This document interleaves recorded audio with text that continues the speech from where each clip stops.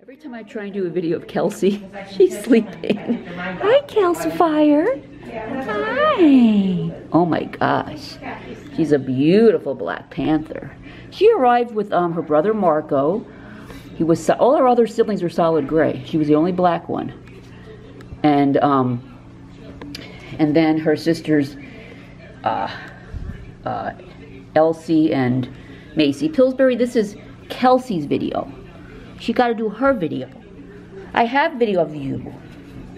So as you can see, she's up front here with all these other kittens, and she does great. She loves them. She's a little, she was pretty shy when she first got here.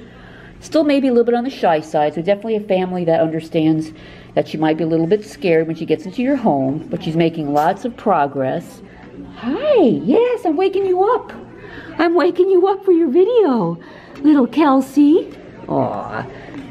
Pillsbury says, I want attention too, and that's for, I think that's uh, Margot. so she's about three months old. Um, her brother Marco was adopted, and um, we still need to find homes for her and her two gray sisters.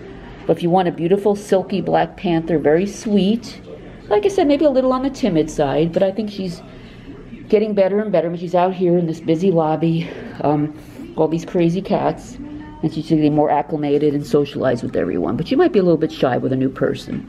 She makes progress every day. She's very tired. She's very tired, Pillsbury. She's all worn out. What did you do? Play all night? Yeah, a lot of they're loose at night, so a lot of times they just play all night, and then after a big breakfast, they kind of just pass out.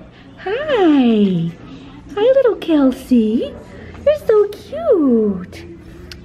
So if you're one of those black kitten lovers or black cat lovers, definitely consider Kelsie because she's just so beautiful, shiny black fur, very sweet, very gentle cat.